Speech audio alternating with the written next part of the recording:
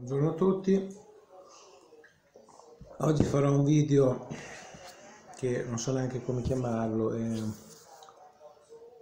mi racconto un po' la mia vita, probabilmente perché mi sento che nel giro di breve non ci sarò più. Ormai la situazione è ben delineata, le speranze non ce le ho più, non ce le ho più perché il popolo italiano si è dimostrato merda che era, lo sapevo già che era un popolo merda, perché da quando sono nato ne ho viste veramente troppe, veramente troppe. Un popolo che accetta tutti, anche i fatti di cronaca, gente che ammassa altra gente, non succede niente, questi qua, come si chiamano lì, quelli di, di Roma, vicino a Roma, che hanno ammazzato quel ragazzino, oppure quella storia di due anni fa di quei nigeriani che fecero a pezzi, quella ragazza di vent'anni la fecero a pezzi, proprio a pezzi. Ormai non so più cosa dire, guarda. Niente, racconto un attimo la mia vita. E sperando quei, quei 10-20 persone che mi guardino che, di spingerle a, a reagire a questa cosa perché sembra una cazzata ma se guardate che nella storia quando ci fu la dittatura cinese, mi sembra nel 90-91, che c'è ancora, che ci fu quel ragazzo che si mise davanti al carro armato, no? E dal di lì i cinesi ottenerono un pochino più di, non dico di democrazia, però più diritti. E, e qui siamo nello stesso campo, cioè se noi o voi fate sempre le solite cose che vi dicono di fare e entri all'ospedale ti controllano la temperatura tu non dici niente. Mentre io ho cominciato adesso ho cominciato a dirgli fatemelo qui. La prossima volta gli dico guarda io non mi controllo la temperatura perché sono sano porto la mascherina quindi non, non c'è bisogno che mi misuri la temperatura perché io sto portando la mascherina quindi in più rispetto al distanziamento. Perciò non rompete le scatole questa storia, dopo litigheremo, però bisogna cominciare da di lì, perché se no non si va più avanti. Ieri ho litigato col parrucchiere che rompeva il cazzo, eravamo da soli, ma no, ti devi tenere la mascherina. Come fai a tagliare i capelli che l'elastico, il laccio arriva qui? E lui me lo toccava, ho detto allora vedi, allora vedi, tu rispetti solo le regole che ti pare te, tu me l'hai toccato, se hai il coronavirus, adesso io domani mattina mi infetto, dentro dieci giorni mi sento male, mi portano in terapia intensiva. Dai, veramente. Vabbè, comunque inizia la mia storia, comunque chiaramente farò a spezzoni perché è molto lunga. Allora, io nasco tanti anni fa, non dico l'età, comunque 40 e più anni fa, e nasco in una famiglia molto povera, nasco con un'invalidità molto grave, anche se non sembra, è per questo che io sono grande, perché nonostante questa invalidità ancora, sono ancora vivo e riesco a fare anche dello sport. In poche parole ho una gamba più corta di così, 4 cm, e sempre su quella stessa gamba ho un piede con tre dita malformato che sta così.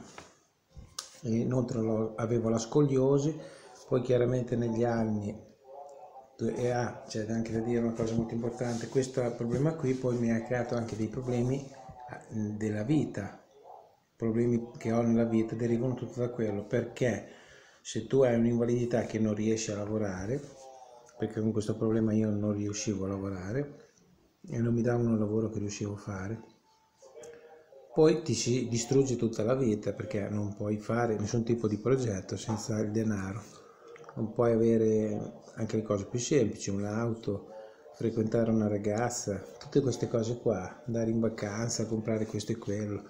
Comunque ho avuto questa invalidità grave che vedevo che non riuscivo, camminavo male, mi faceva sempre male la schiena e poi eh, a quell'età lì, 5-6 anni, non è che lo capisci. Poi a 6 anni mi è successo un'altra disgrazia, mi è morto mio padre in un incidente stradale, incidente, l'hanno investito dopo lì è andato un po' la colpa a mio babbo perché attraversava la strada. Probabilmente un po' di colpa c'era anche mio babbo però tanto io sono rimasto orfano poi ho avuto un fratello che mi picchiava e quindi anche quella è una brutta cosa. E picchiava anche mia mamma. Poi a 14 anni ancora con questo fratello in casa avevamo la casa di proprietà non sono cominciato ad andare a lavorare che avevo appena subito un intervento chirurgico molto dire, difficile per l'allungamento di questa gamba, quindi mi avevano rotto tibia e perone da sveglio e mi avevano fissato questi fissatori esterni. Questi fissatori esterni dove ogni giorno cresceva un millimetro d'osso così, girando una chiave che dovevo andare tutti i giorni all'ospedale e, e c'era questo ortopedico che mi girava sta chiave e cresceva un millimetro d'osso. Dopo purtroppo lì era stato fatto un intervento sbagliato, nel senso che non avevano considerato che io avevo una gamba, un piede malformato così e quindi loro con questo ferro volevano che io camminassi tutti i giorni perché l'osso cresceva e si saldava solo se camminavi, ma io non riuscivo a camminare perché ogni volta che posavo il piede mi faceva male. Chiaramente i dottori, pur di evitare di, diciamo così, di pagare danni, dissero che era colpa mia, eccetera, eccetera, poi mia mamma, poverina, era quello che era, io avevo 14 anni e mi hanno rovinato anche lì. Subito dopo questo intervento, che ho dovuto fare anche tre gessi che non erano in programma, perché praticamente cosa è successo? Che non essendoci camminato sopra, non si è soldato l'osso, ho dovuto fare tre gessi. Dovuto farne due da 40 giorni, cioè 80 giorni di gesso sono tantissimi per soldare l'osso, più l'anca poi mi era andata su così, non veniva più giù, ma ho dovuto fare un gesso da qua, dalla gamba, dall'anca fino a qua, altri 40 giorni. Qui mi sono fatto 120 giorni di gesso e la gamba era ridotta come questo braccio io ho le gambe molto muscolose. Poi la fisioterapia mi hanno fatto solo praticamente lo sbloccaggio, che la gamba era così.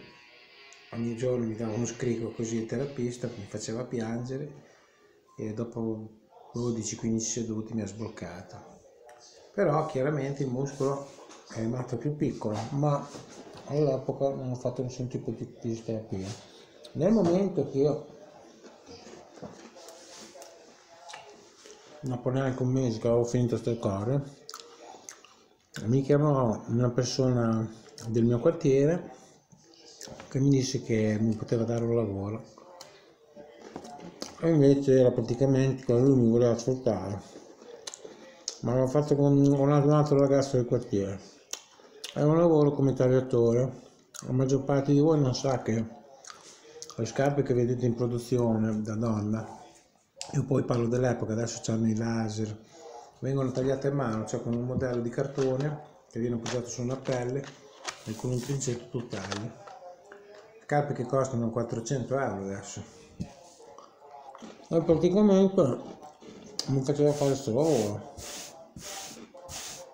io vedevo che anche se avevo 14 anni dopo un'ora, un'ora e mezza mi faceva male la schiena, non ce la facevo.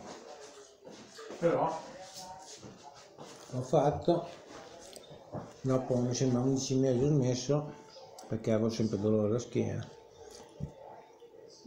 Poi mi sono recato um, che all'epoca frequentavo la parrocchia che mi è servita per capire che sono veramente il Vaticano, i parroci, eccetera, eccetera, che avevano fondato una persona che andava alla messa, una cooperativa sociale e missionaria, così il nome era per non pagare le tasse, che si doveva occupare, si doveva occupare di inserimento di, persone disabili o come me fisico o mentali, infatti c'erano altri ragazzi delle case famiglie che erano un po' così, e mi facevano andare in giro a, raccogliere il ferro, quindi stufe di ghisa che all'epoca c'erano, anni, fine anni 80, e cartone, ma quintali di cartone, quindi dovevi piegare lo schieno tantissime volte, buttare dentro, cioè, infatti io facevo più fatica a raccogliere il cartone che il vetro,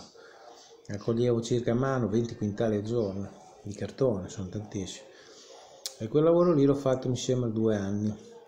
Ah, poi mi facevano caricare da solo i container di panni, perché loro facevano la raccolta dei panni, poi li vendevano a Prato, dei sacchi così che pesavano circa 15 kg, lo dovevo riempire tutto da solo a luglio, agosto, quindi un caldo atroce, più il sole che rimbazzava dentro questi container di ferro e un delirio, ho lavorato come un negro io da ragazzo. dopo mesi sempre per il solito motivo anche per qualche litigio lì con questi ragazzi eh, che lavoravano lì dentro che molti non erano normali era anche pericoloso perché c'era uno che ogni tanto alzava le mani una volta ha spaccato una bottiglia me la voleva infilare nella gola cioè quindi ho detto io qui me ne vado già del fatto che io quei lavori lì non li potevo fare. Poi vado al collocamento obbligatorio che c'era e c'è ancora un ufficio che si dovrebbe occupare dei disabili di mandarli a lavorare lavori che riescono a fare. Quella volta c'era solo sta legge che diceva le aziende che hanno più di 35 dipendenti devono assumere i disabili. Però non è che diceva gli devi far fare il lavoro che riescono a fare no. Te le aziende che hanno più di 35 devi assumere devi fare quello che ti pare. E infatti allora la lettera in un'azienda mi hanno fatto attaccare i polli a una catena che girava, dovevi attaccare 30 polli al minuto, così. E non sto scherzando. In una cella che ci sono 5 gradi, quindi dopo 5 minuti grondavi di sudore e ti arrivava il freddo. E infatti l'ho fatto 3-4 mesi. Poi l'orario di lavoro, dalle 5.50 alle 13. Cioè una roba, uscivi da di lì che non, non, non capivi se eri più una persona o non so che cosa. Vado ancora a questo ufficio del collocamento obbligatorio, mi mandano ancora nello stesso settore, quindi a Vicolo, attaccare sui tacchini. Nell'altra azienda poi che era lontanissimo, che io ci dovevo andare col motorino, era a 22 km da casa mia col motorino che facevi 45 all'ora d'inverno. Quindi sotto l'acqua, al freddo, una volta sono andato col ghiaccio, sono anche caduto, ma roba allucinante. E ho fatto un anno e ho smesso anche lì ovviamente. Poi dopo vi racconterò eh, l'altra mia vita, diciamo così che siamo arrivati con questa prima parte fino ai 19 anni e già ne ho passate tante, i 19 anni, poi devono arrivare gli altri anni. Vi ringrazio che mi avete seguito, iscrivetevi al canale se potete e speriamo che incominciate a protestare perché qui il loro obiettivo è quello lì, vaccino, microchip e moneta digitale all'interno del microchip loro vanno avanti se non, se non li fermate. Ciao